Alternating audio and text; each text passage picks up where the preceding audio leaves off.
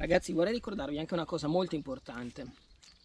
Le cartacce e l'immondizia in generale non hanno le gambe, quindi non tornano a casa da sole.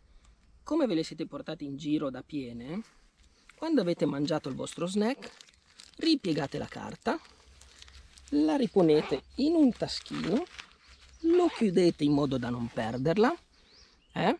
e ve la riportate a casa, come, se, come l'avete portata in giro quando era piena. Ok? Lo fate per voi, lo fate per la natura. Va bene? Grazie.